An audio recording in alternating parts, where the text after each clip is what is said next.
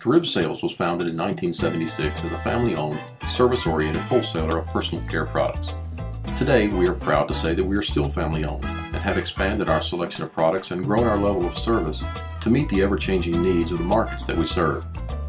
We provide an array of products that address not only ethnic hair and skin care, which is our core business, but offer a variety of general market items for personal care as well as household needs. We serve customers in Florida, Central, South America, and all around the world. Our facility consists of a 2,200 square foot state-of-the-art showroom and a massive 140,000 square foot warehouse and office complex. Visit our website www.caribsales.com, your trusted resource in the beauty business.